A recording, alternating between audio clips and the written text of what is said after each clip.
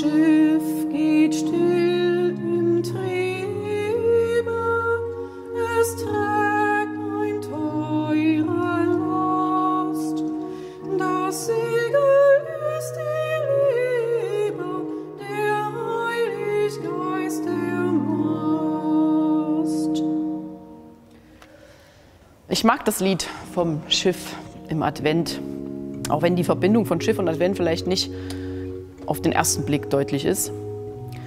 Aber das Schiff steht natürlich für die Gottesmutter Maria. Aber ich verbinde damit eher Assoziationen von Sehnsucht und Fernweh. Und das passt für mich gut in den Advent.